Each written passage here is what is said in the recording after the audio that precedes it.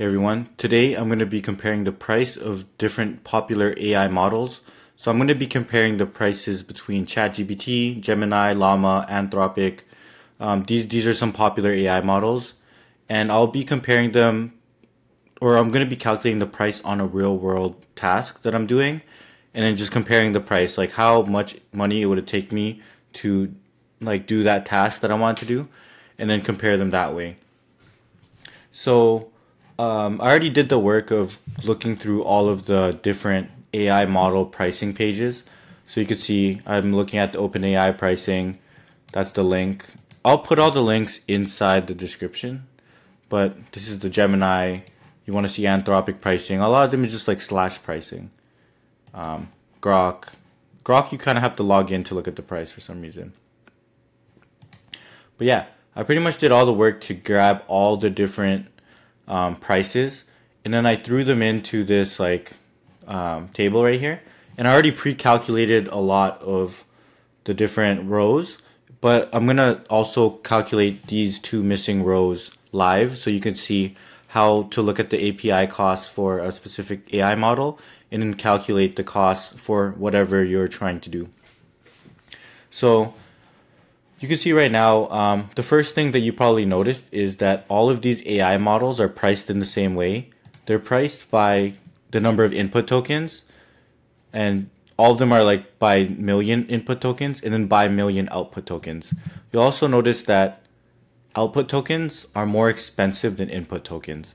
If you don't know what input and output tokens are, essentially input tokens are the, the tokens that you pass into the model.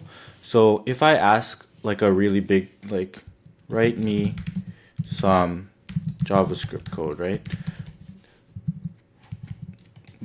Like if we put this into a tokenizer, we can see that this text, it, it looks like it breaks it up by words, but this text costs six tokens, right? So that's the number of input tokens and like let it run, let it run. We'll just stop it early. We'll go back to the tokenizer. And you could see like the output, it output 94 tokens. So usually AI pricing is pretty simple. It just counts up how much input tokens, like how, how, how many words essentially you passed in. Um, depends on the model. Some models are by characters, some models are by words, some models are probably by other things but it basically counts up how much words you pass into the model and then also how many words the model like shoots out. And then it like the pricing is different based on like the input. Like you'll apply the price on the input tokens and then add it to the price of the output tokens and you fi- you get like the final result. And it's usually by the million by the million tokens. So let's see. What was i gonna do? Um let's just let, let me just look through this quickly. Just to make this quick i guess um, let's just calculate some of this out.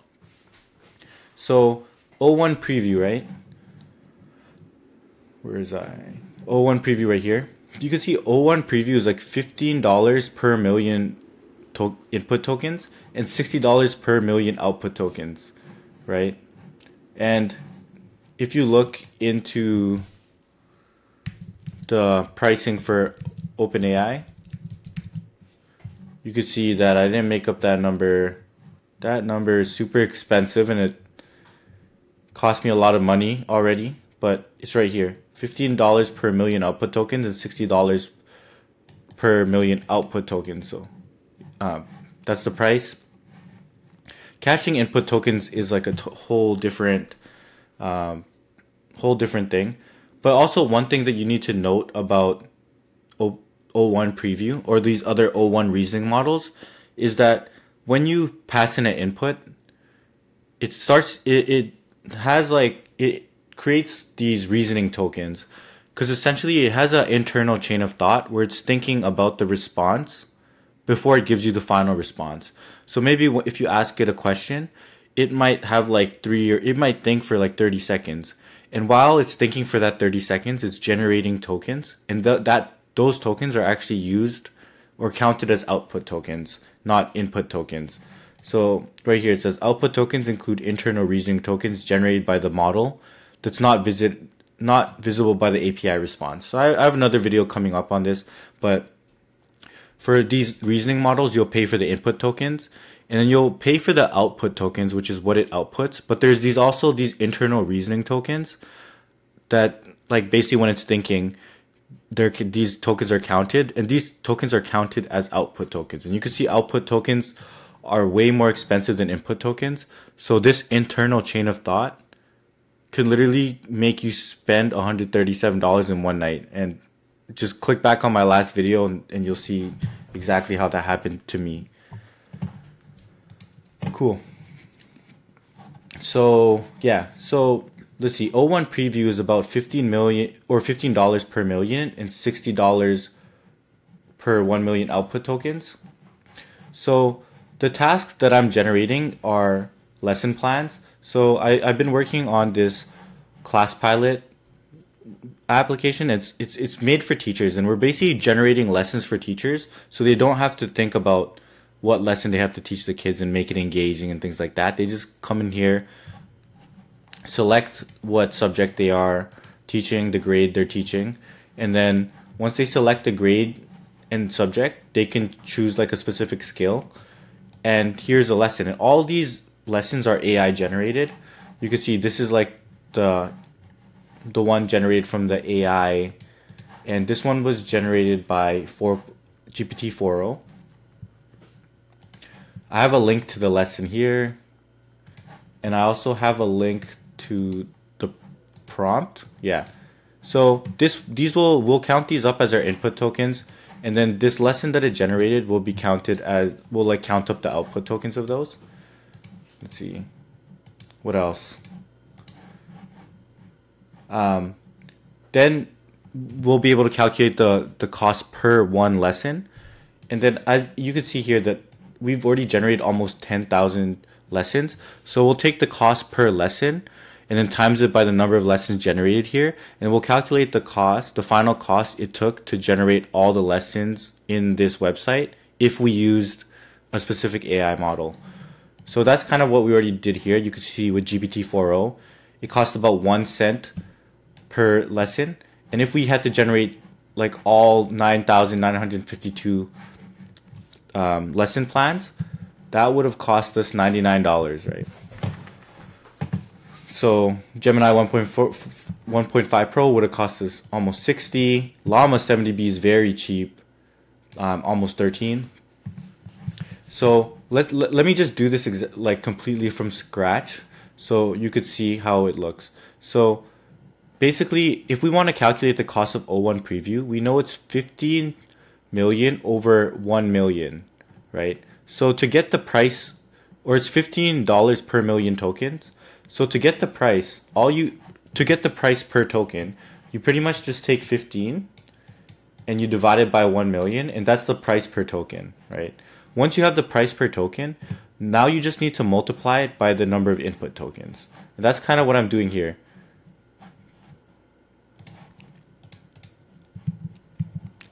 So I have, so O1 is um, going to cost $15 per million tokens. So if I divide that, I'll get the price per token. I'll just times it by X, which is the number of input tokens.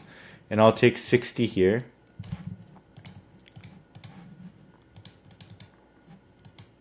I'll take 60 here and I'll div divide that as well. And then Y will be the number of input token or output tokens.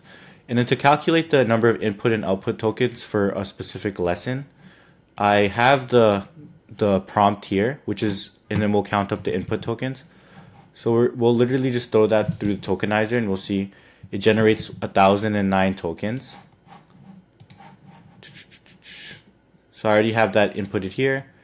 And then we'll take the number, uh, we'll take like the lesson plan that it generated and we'll throw it in here and you see it generated 938 so I already have that here so this will calculate us the costs for O1 preview but actually one thing I noticed with O1 preview is because it does the internal internal um, chain of thought is that the number of output tokens or the number of reasoning tokens it was using was like a, around 2000 every time.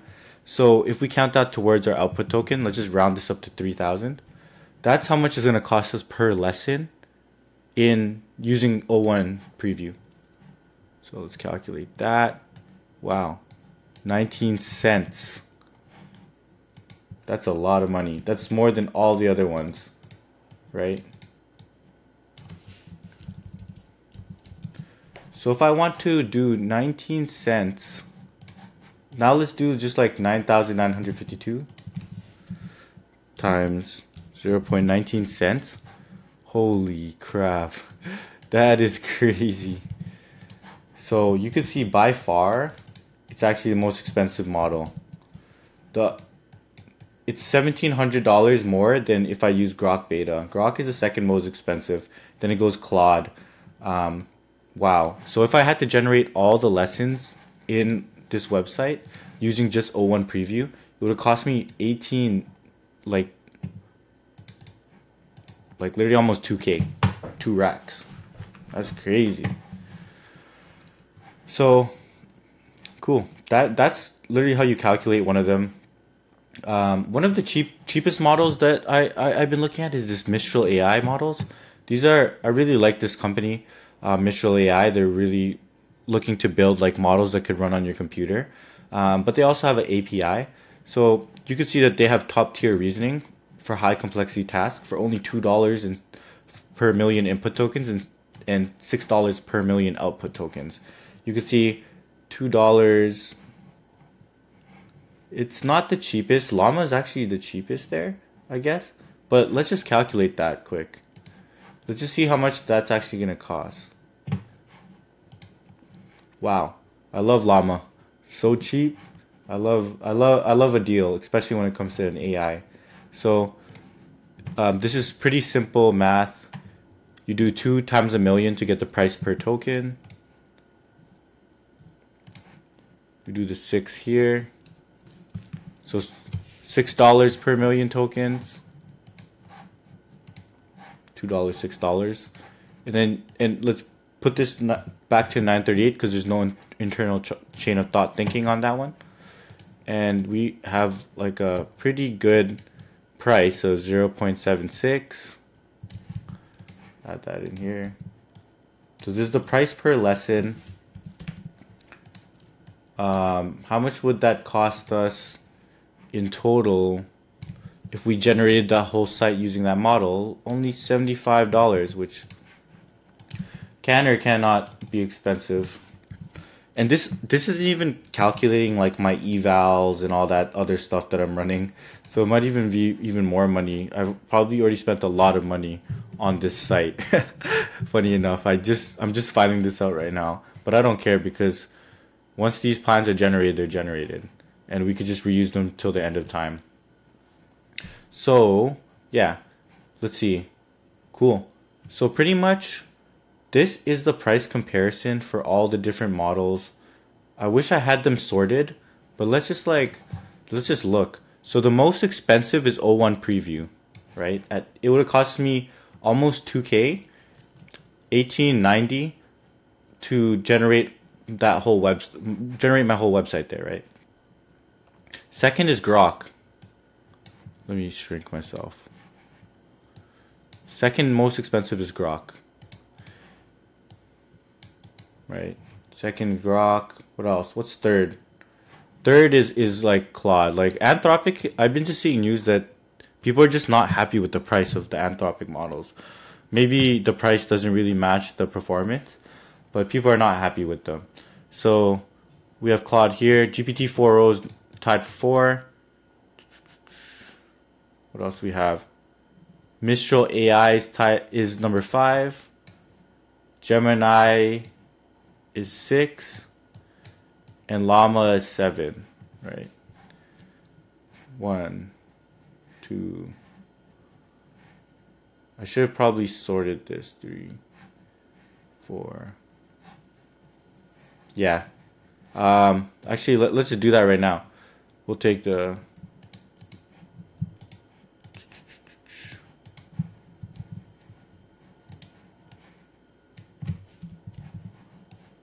GPT-4o. So for just GPT 4.0, so the most expensive is O1 preview. Like like I said before, now coming close is Grok at 1890. Coming third place is Claude Sonnet at 1690 or at 6 169. What's fourth? GPT 4.0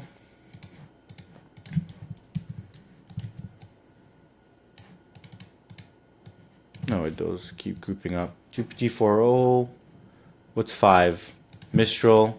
So I thought Mistral was actually going to be the cheapest, but guess that it's not. Next is Gemini Pro. And it's just looking like these models built by these big companies are just the cheapest, which kind of makes sense because just economies of scale. They're just huge companies. So there you go. That's the official rankings. I'm gonna probably take a screenshot of this. Oh, shot four. I'm gonna screenshot this for my friends. But that's the official rankings of how much it would have cost to generate the whole class pilot app if I were to use one of these models. Um, so, yeah, this is just one dimension, which is price. But, like, if you're. Sorry, let me just put this over here. Like, if you're actually trying to figure out what model you want to use, you don't just want to look at price, you're also going to want to look at performance depending on how important performance is. So that's probably like the two dimensions I care about is like price based on the performance and performance would probably be calculated by like some evaluation that you're doing on the models and that could be LLM based evaluation or just like you have your own methods of evaluation, but there you go. O1 Preview is the most expensive model. Actually, that's not true. Claude has a super expensive one um, right here, the Opus. It has 75 million per output token, and that's way more expensive than O1 Preview. So you'd be even more expensive than that, and I don't even know if you can justify that cost. Like this is such a small app, and it would have cost almost 2k, but Llama would have generated under twelve dollars, and Llama was pretty good. So thanks to Meta for building that. And yeah, I'll see y'all in the next video. I hope you learned something about how to calculate how much your AI costs.